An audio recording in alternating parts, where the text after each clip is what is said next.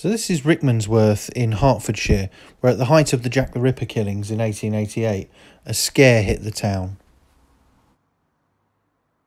The first of three Ripper links to the town involved a travelling hawker called Frederick Chapman, who was arrested for being drunk and disorderly. He had become embroiled in a brawl with another intoxicated punter at the George pub in the town. But this ultimately turned out to be a false alarm. Another link involved the twisted killer Mary Pearcey, a murderer who was suggested as a possible Jill the Ripper female suspect for the Ripper spree. In October 1890, Pearcey horrifically murdered Phoebe Hogg and her baby, also called Phoebe, but known as Tiggy. Pearcey was hanged in 1890 for the despicable double murder. The level of violence actually marks her out as a Ripper suspect in her own lifetime.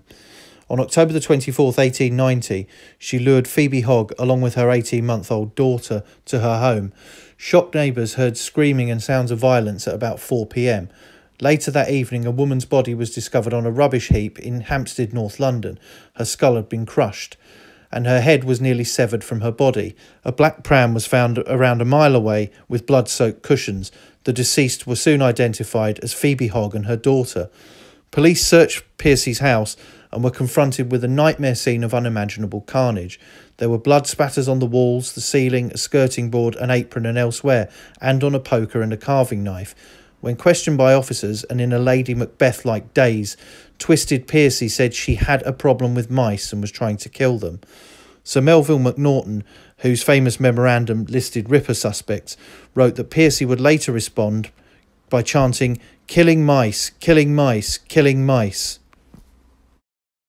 Phoebe Hogg's ailing father lived in Rickmansworth, and on finding his wife was out and not returned, Phoebe's husband, Frank, assumed her father's condition had worsened and she'd gone to visit him in the town and ended up staying over. He would soon discover the horrible truth. And the connections between Rickmansworth and Jack the Ripper do not end there. I'm at Chorleywood Road Cemetery in Rickmansworth, which contains the grave of an artist who was actually suspected of being Jack the Ripper and was pursued by a vigilante mob narrowly escaping with his life. The man was Starr Wood, who is buried in the town. Wood was a self taught satirical cartoonist who was set upon by a mob following one of the Ripper murders, most likely that of Catherine Eddowes in Mitre Square. The then 18 year old escaped the melee and hid in a railway station until his pursuers had passed by. Wood was in the area and, intriguingly, may have been a witness to the murder. The artist died in 1944 and is buried in the pleasant Chorleywood Road Cemetery in Rickmansworth, where his plot is marked with a large rectangular block with palette motif carved into the rock. Inside the palette reads the simple inscription, In dear memory of Starr Wood, artist, 2nd of September 1944.